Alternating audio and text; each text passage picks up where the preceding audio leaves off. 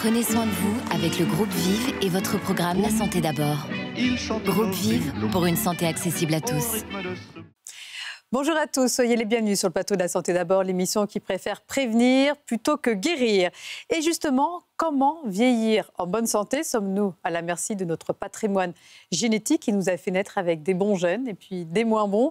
Eh bien, la réponse est non. Notre mode de vie peut agir sur l'expression de nos gènes. C'est ce qu'on appelle l'épigénétique. Et on en parle aujourd'hui sur le plateau de la Santé d'abord.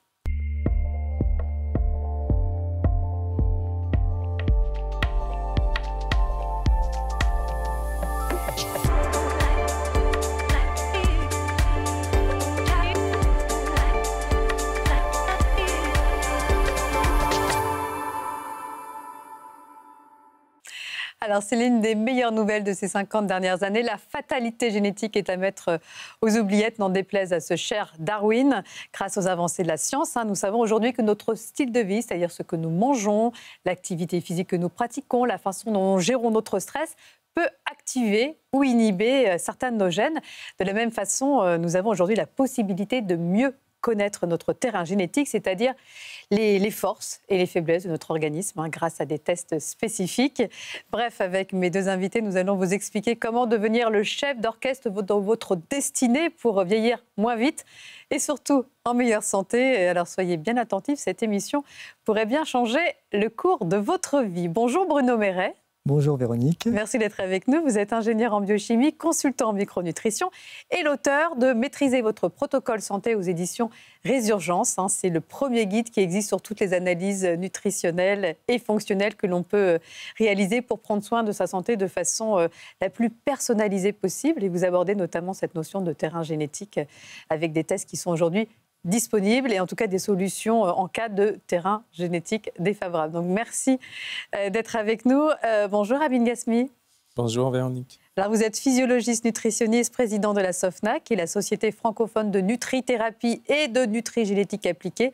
Et vous avez publié pas moins de, 70 études scientifiques autour des sciences de la nutrition. Donc voilà, votre mission à tous les deux, si vous l'acceptez aujourd'hui, c'est de rendre pratique en 26 minutes cette science théorique et abstraite pour la plupart d'entre nous qu'est la génétique.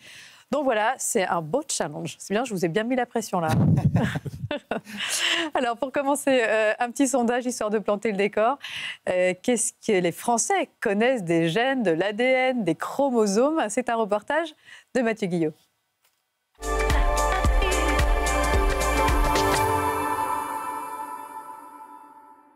Un gène, euh, c'est une partie de l'ADN et c'est ce qui code l'information génétique.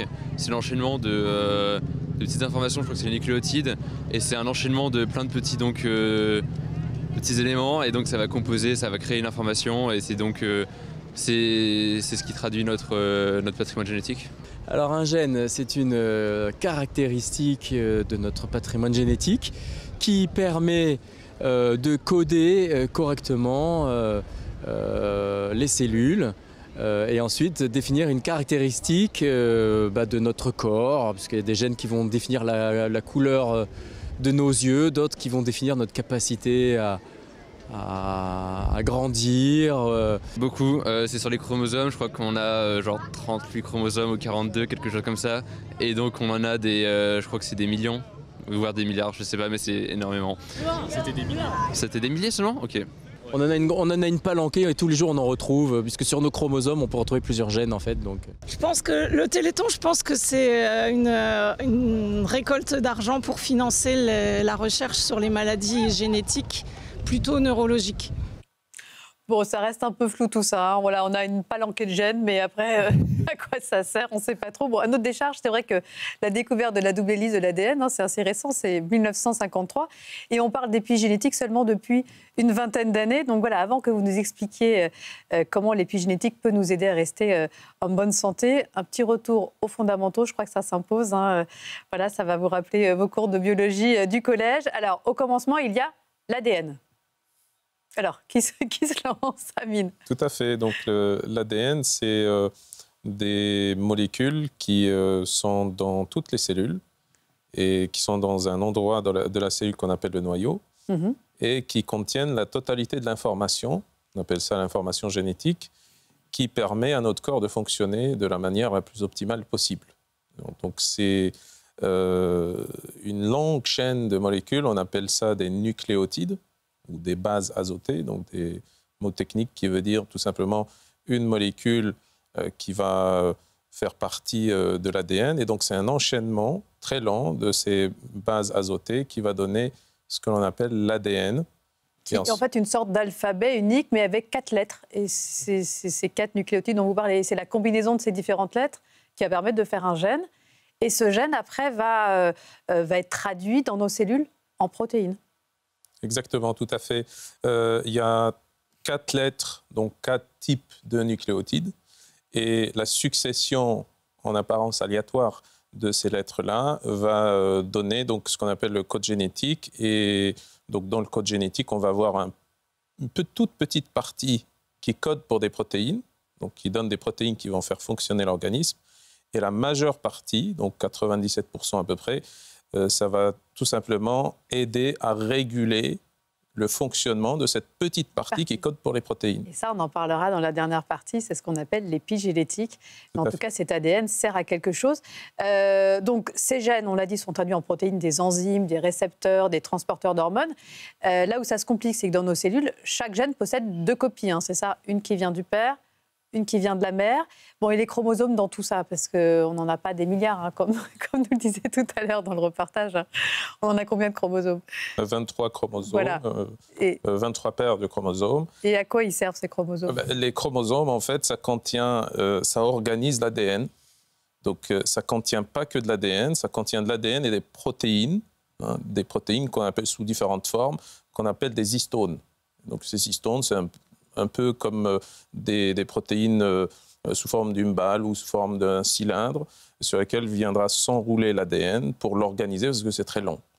Et... En fait, c'est une forme de. On compacte l'ADN. Exactement. On range l'ADN pour... Exactement. Et ça dans ses chromosomes. Pour que ça rentre dans le noyau, quoi. Donc, imaginez. Oui, c'est vrai, il faut que ça rentre dans le noyau. Voilà, c'est ça. On parle de 3 milliards euh, de ces lettres-là, euh, donc un alphabet, euh, quatre lettres, 3 milliards de. De combinaisons possibles 3, Non, 3 milliards de, de, nucléotides. Ah, de nucléotides. 3, milliards de lettres qui doivent être concentrées comme ça. Donc, le, le chromosome permet de, de faire rentrer le paquet, en fait, dans la cellule et de, en fait, euh, c'est important au moment de la division cellulaire. Quoi. Il y a une condensation de l'ADN pour pouvoir, euh, euh, on va dire, permettre la division des cellules. Quoi. Bon, merci en tout cas pour ces, pour ces rappels. alors, un premier séquençage de notre génome a été publié en 2003. Est-ce qu'on sait aujourd'hui avec précision combien il existe de gènes chez l'être humain? Oui, on a, on va dire, une estimation autour de 3000 gènes. Mhm. Euh, qui sont connus, identifiés et qui codent pour des protéines. Euh, sinon, donc, alors ces 30 000 gènes, euh, ces 3 000 gènes, pardon, sont à peu près 3% de l'ADN. Donc 3% de l'ADN. Finalement, très peu. Voilà. C'est ce qui, ce qui fait très très peu, mais qui en même temps sont des, des gènes extrêmement importants. Si on a le moindre changement du moindre nucléotide au niveau de, de, chacun de ces gènes, ça va changer euh, le fonctionnement du métabolisme. Ça peut donner des maladies. Alors, il faut euh, aussi préciser qu'il y a beaucoup de ce qu'on appelle des mutations, des polymorphismes. Alors, justement, on va bien faire la différence. C'est-à-dire que, certains de nos gènes donc, peuvent subir des, mutations et entraîner des maladies dites génétiques, hein, ce dont vous parliez. Euh, mais une mutation, ça, veut dire quoi et pourquoi un gène va muter? Voilà, c'est comme ça, c'est la faute à pas de chance. Oui, il y a des changements au niveau du gène qui peuvent se faire à cause d'un certain nombre de, situations euh, qui viennent de l'histoire euh, la plus ancienne de l'humanité. On a des gènes, des mutations qui ont des mutations qui datent de 100 000 ans, 500 000 ans ou plus.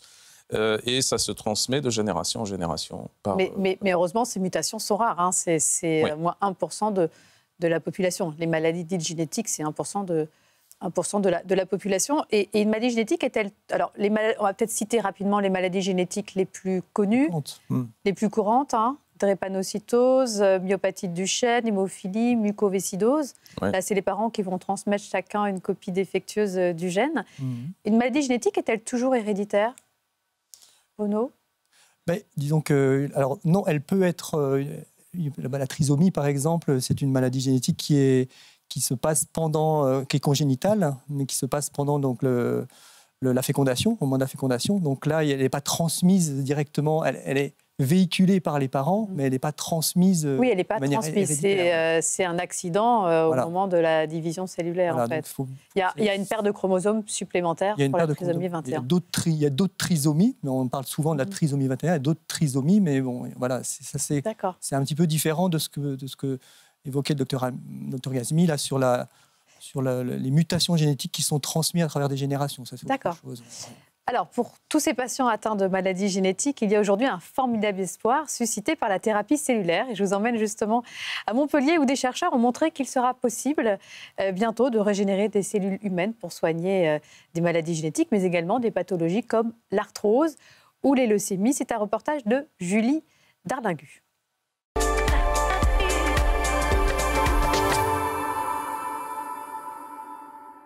Monique attend ce jour depuis 85 ans. Elle est atteinte de la polykystose rénale, une maladie génétique faisant apparaître des kystes au niveau des reins, qui touche sa famille sur trois générations. Et je vois qu'effectivement, les médecins sont impuissants et on attend, on attend, on attend que, quelque chose se passe parce que euh, effectivement, ils ont les mains liées. Les mains liées, plus pour très longtemps. Elle est témoin d'une découverte inédite ici à Montpellier les médecins de l'Institut spécialisé dans la régénération des cellules viennent de trouver le moyen de renouveler des cellules humaines pour soigner des maladies comme l'arthrose ou les leucémies.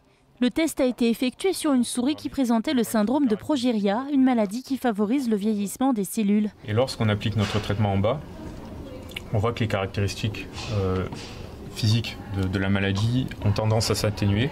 Elle est entrée en phase de rémission. La technologie avance très vite et aujourd'hui on maîtrise les possibilités à partir d'un simple prélèvement euh, d'un tissu, d'une cellule sanguine, par exemple, une simple prise de sang, on peut récupérer là des cellules, les reprogrammer pour leur redonner des capacités presque de redifférenciation euh, sur euh, un tissu très spécialisé. Demain, il sera donc possible de régénérer des cellules humaines. Cette découverte peut aussi laisser espérer de nouveaux types d'emplois dans le secteur. Voilà, c'est un projet qui est encore en phase de test hein, sur des animaux en laboratoire. Mais c'est vrai que cette découverte donne aujourd'hui beaucoup d'espoir euh, euh, pour toutes les familles touchées notamment par une maladie génétique. Alors revenons à ces problèmes de mutation dont on parlait tout à l'heure qui entraînent euh, des maladies génétiques, hein, des mutations, on l'a dit, qui restent rares mais qui sont à bien différencier des nombreux petits changements qui peuvent affecter nos gènes, euh, des changements qui ne vont pas forcément nous rendre malades, comme vous le disiez tout à l'heure, Amine, mais qui vont expliquer que d'une personne à l'autre, nous n'allons pas être réglés de la même façon. Et dans ce cas, on parle de, terrain génétique ou de polymorphisme, hein, Bruno? Oui, tout à fait, des polymorphismes génétiques, polymorphes, hein, c'est-à-dire on est tous différents, hein, on l'a remarqué. Et du coup, la base de cette différence vient justement d'une variabilité génétique sur n'importe quel gène on a énormément de variabilité chacun. Alors, un exemple concret, par exemple Un exemple concret, le lactose. Hein, on sait que chaque, tout le monde sait qu'on peut plus ou moins digérer le lactose. Certains ne le digèrent plus à l'âge adulte. Eh bien, ça, c'est lié à un polymorphisme, c'est-à-dire une variation sur un seul, une seule de ces lettres dont évoquait le docteur Gazmi tout à l'heure, une seule de ces lettres qui change. Et du coup, à l'âge adulte, vous ne digérez plus le lactose. il faut faire attention, du coup, sous... Voilà, donc, si, si par exemple vos parents sont euh, ce qu'on dit euh, GA, mais ça veut dire qu'ils ont une bonne allèle et une mauvaise allèle, c'est ça? Oui. Si, si, chacun vous transmette la mauvaise allèle, voilà. là, c'est sûr, vous n'allez pas digérer le lactose. C'est-à-dire votre enzyme voilà. qui doit digérer le lactose ne fonctionne pas. Voilà, vous êtes dit homozygote sur le, sur le gène de la lactase. Donc c'est quand vous êtes GG, euh, quoi, sur votre petit schéma. Voilà, c'est ça, sur petit schéma, absolument. Voilà, c'est ça.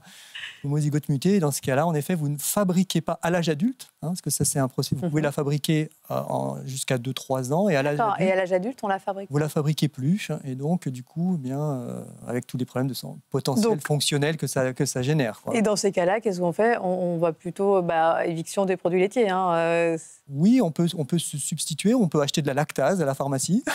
Oui, qui est l'enzyme qui va digérer qui est déficitaire, on peut l'acheter en complément alimentaire et puis euh, faire des voilà mais de manière générale quand même faut mieux éviter quand même les crèmes les glaces malheureusement ça ça impacte beaucoup les bonnes, euh, les, on va dire les, choses, les plaisirs de la vie, quoi. Voilà. Alors en parlant justement de troubles intestinaux, la qualité euh, de notre fameux microbiote hein, peut aussi dépendre d'une enzyme qu'on appelle la FUT2. Alors on va faire simple, hein, c'est la fucosylactotransférase. En gros, si cette enzyme dysfonctionne, on aura un muqueuse, on aura un mucus intestinal de mauvaise qualité avec pareil toute une cohorte de symptômes, hein, Bruno. Oui, alors c'est en effet c'est un un polymorphisme à nouveau sur une enzyme précise qui fabrique un bon mucus, on va dire pour, pour simplifier. En effet, 20% quand même, c'est 20% de la population mhm. caucasienne euh, je, suis, je suis deux non-secrétaires, par exemple. Deux non-secrétaires. voilà, tout le monde s'en fout. Mais, du coup, j'ai un mucus intestinal. Euh, voilà, Alors, c'est un mucus, un mucus intestinal qui va être de pas très bonne qualité. Voilà, et qui du coup amène à une des populations bactériennes qui peuvent être. Euh, par exemple, il y a moins de bifidobactéries, des très bonnes bactéries qui sont connues, hein, les mhm. probiotiques, les bifidobactéries. Quand on, est, quand on a ce mucus de moins bonne qualité, bon, on a moins, moins ces bactéries dans son intestin avec des problématiques de santé qui peuvent se, répercuter, euh, avec des risques, par exemple, allergiques majorés, avec des risques de candidose majorés, des risques d'infection Des problèmes ORL, chez les femmes, des problèmes d'infection urinaire, attention, ça peut être un constipation problème de chronique aussi. D'accord. par exemple. Et alors, qu'est-ce qu'on peut faire dans ce cas-là? Quand on, quand on est de non secréteur ou euh, en tout cas Il y a pas mal de solutions. Donc, euh, il y a, donc quand on est non secréteur, on, a en général un mucus qui est de mauvaise qualité, mais qui est aussi très fin. En termes de cellules intestinales en produisent moins. Donc là, on peut euh, avoir une hygiène alimentaire qui, qui, permet d'éviter tout ce qui est pro-inflammatoire, etc. On peut également prendre un certain nombre de compléments aussi qui peuvent stimuler la sécrétion du, mucus aussi. Ce qui est intéressant, c'est que malgré ces polymorphismes, il y a des solutions. Euh, on peut adapter déjà notre mode de vie, notre alimentation, et il y a aussi des, compléments alimentaires, des moyens naturels. Alors, un autre polymorphisme que tout le monde devrait connaître, enfin en tout cas aux États-Unis par exemple, je crois qu'ils connaissent tous ce polymorphisme, mais en France on est un petit peu en retard, c'est celui qui affecte l'enzyme MTHFR. Alors désolé pour tous ces noms un petit peu compliqués, la méthylène tétrahydrofolate réductase, pour faire simple. Si cette enzyme euh, ne fonctionne mal, le risque de dépression, de maladie cardiovasculaire, entre autres, est augmenté, hein, c'est ça Tout à fait. Oui, oui, Alors là, c'est c'est un mécanisme, c'est on va dire une biochimie assez complexe dans le corps humain. Là, ça serait, voilà, il faudrait plusieurs heures pour rentrer dans le détail du rôle de cette, de cette protéine, de cette enzyme. Mais en effet, quand elle est mutée, elle amène à une, un dysfonctionnement d'une réaction chimique qu'on appelle la méthylation dans l'organisme, qui est très importante au niveau cérébral, au niveau de l'équilibre des neurotransmetteurs, au niveau de la détox. ça amène aussi un surrisque cardiovasculaire. C'est le master des polymorphismes, c'est-à-dire la mutation très fréquente, très très mhm. fréquente, qu'il faut, il faut, faudrait presque tous connaître notre mutation MTHFR, si on l'a ou pas, parce qu'il y a quand même des conséquences. on est dans une prédiction et donc, on peut faire des choses en, anticipant certaines problématiques de santé. C'est vraiment intéressant.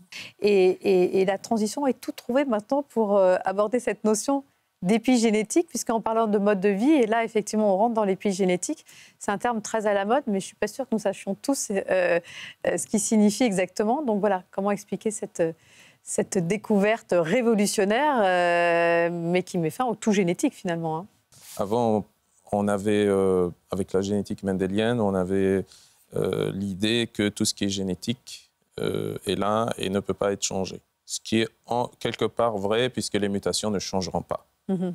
Par contre, ce qu'on peut changer, ce sont les implications et les conséquences de ces mutations-là. Et ça, ça se fait à travers le changement de style de vie. Donc, activité physique, comme vous l'avez bien dit, par rapport à le tabagisme, euh, au sommeil, l'amélioration du sommeil, la diminution du stress, l'alimentation. Et donc, euh, tous ces facteurs de style de vie vont avoir un impact après sur le fonctionnement de l'ADN. Ça ne va pas changer la structure de l'ADN, mais ça va changer l'expression, on dit, c'est-à-dire le, le fait qu'un gène va coder un peu plus pour une protéine ou un peu moins. Et c'est ce qui va faire que, euh, ce qu'avait dit Bruno avant par rapport à la MTHFR, la méthylation est un des phénomènes épigénétiques. C'est-à-dire, si, par exemple, on mange moins de sucre, euh, on fait plus d'activité physique, on a un certain nombre de changements au niveau de l'expression d'un certain nombre de gènes qui vont faire qu'on euh, aura moins de risques de diabète, euh, qu'on aura moins de risques cardiovasculaires, qu'on aura moins de risques d'un certain nombre de maladies. D'accord. Donc, en fait, en modifiant notre mode de vie, nos comportements, on peut agir sur nos gènes et prévenir l'apparition de, maladies et du coup euh, vieillir moins vite et surtout en meilleure santé. Hein. Exactement. Bon, justement, donc on peut reprendre le contrôle de ces gènes juste en changeant nos comportements. Et Bruno, nous nous sommes rendus euh, chez vous dans le Luberon. Vous exercez désormais après avoir vécu en région parisienne et, je suis sûre que cette nouvelle vie a fait beaucoup de bien à votre épigénome. Et vous nous avez permis d'assister euh, quelques minutes à l'une de vos consultations où il est question justement d'épigénétique et, et plus précisément d'acides gras oméga 3. C'est un sujet de Loïc Perrier.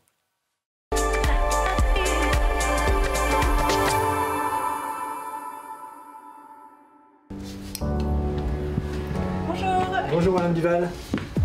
On appelle ça de la micronutrition ou de la santé fonctionnelle. Madame me consultait pour des douleurs inflammatoires chroniques qu'elle avait depuis plusieurs années. Et donc là, l'idée, c'est de travailler à la fois sur euh, un rééquilibrage de l'assiette, une assiette anti-inflammatoire, d'accord? Et puis accompagner aussi de certains euh, micronutriments, des compléments alimentaires qui vont aussi permettre de réguler l'inflammation. Vous aviez tendance à un peu à, grignoter des gâteaux, des choses, et on voyait qu'en effet que vous aviez des acides gras trans qui étaient un petit peu élevés. On analyse la, composition des globules rouges et ça nous donne un reflet de l'assiette des gras des 3-4 derniers mois. On va aider les gens à, mieux manger, on va rééquilibrer le terrain et arriver à, bien sûr, à régler des problèmes de santé, plutôt dans un cadre de prévention ou de maladies chroniques. Les protéines des produits laitiers, notamment la caséine, est une protéine pro-inflammatoire. J'ai 45 ans, euh, je, pensais que j'allais pas m'en sortir, que ça, allait, ça s'empirait. J'avais des douleurs à, plusieurs endroits. Puis là, je sens que ça, ça a comme réversé, en fait. Et puis, jusqu'à avoir euh, quasiment plus de douleur, quoi. Donc, euh, bah, je suis contente. Du coup, je peux refaire du sport. Enfin, je peux refaire des choses euh, que j'arrivais plus à faire, ouais.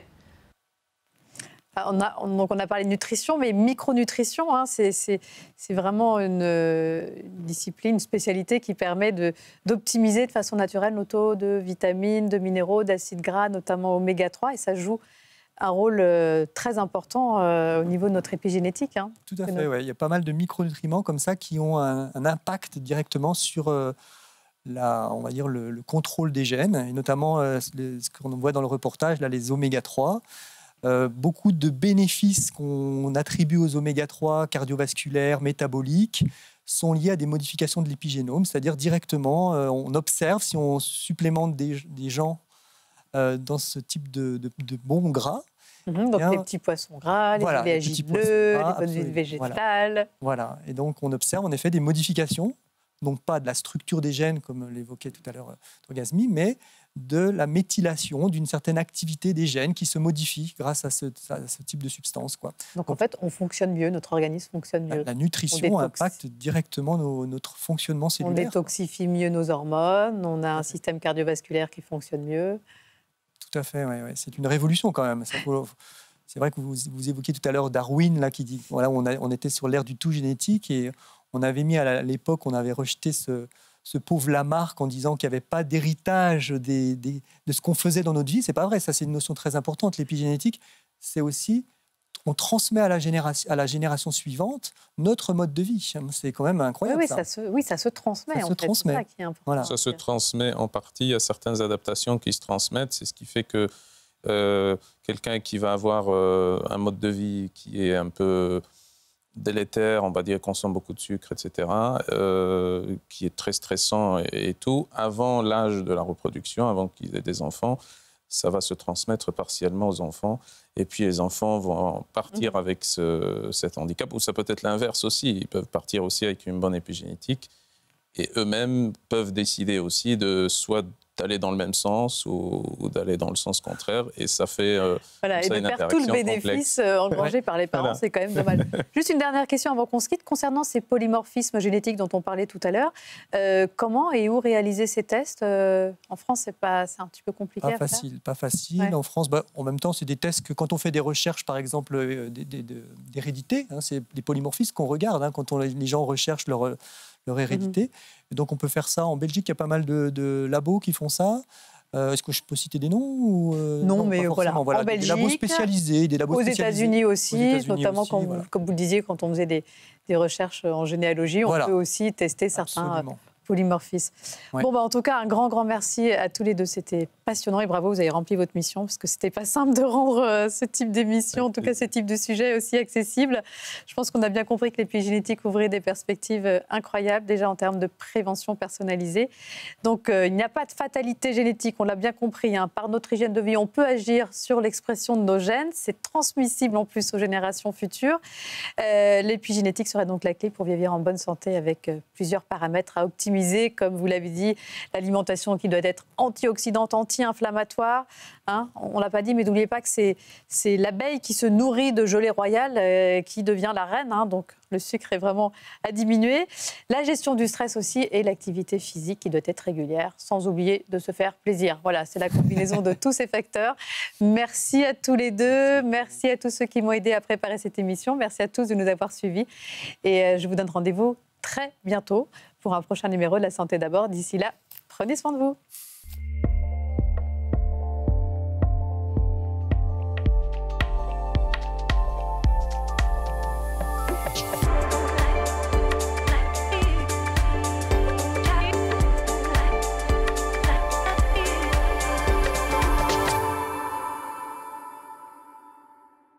Groupe Vive vous a présenté La Santé d'abord, le programme qui prend soin de vous. Groupe Vive pour une santé accessible à tous.